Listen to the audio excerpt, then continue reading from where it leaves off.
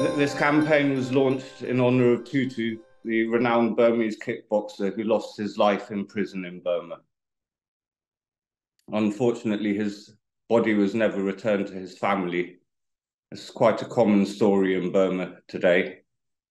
And I was hoping that by doing something that was focused on one person, we could relate the story of what's happening to Burma to the wider world.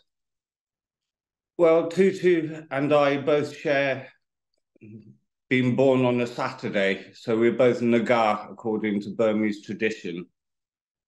So that gives me a link to him in one way. And also, I was uh, taught the basics of Burmese kickboxing when I was under house arrest with my mother when I was young.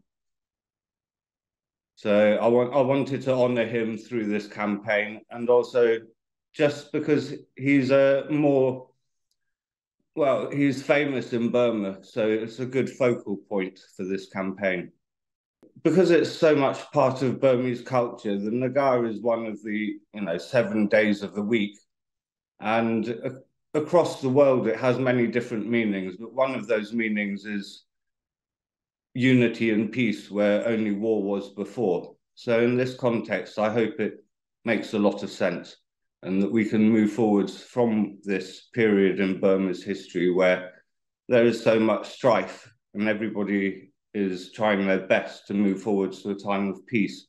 This is the one I had for the campaign. I actually had another one beforehand as well, which was when I went to Burma. I had this one in my mother's house, whereas this one I had recently. Last year, a piece of artwork that I made managed to raise $1.7 million, which is incredible. But I'm hoping that we can continue all of this great work because at the moment, so far, it's actually mostly the Burmese community who've been contributing to all of these campaigns. And it's there's very little coming from the international community, really. And I hope to try and change that going forwards. The campaign on GoFundMe will continue indefinitely since I think Burma's going to need aid indefinitely. But we'll be drawing things to a close soon in terms of working with the Burmese fundraisers and what have you, because they have so many other campaigns that they're working on.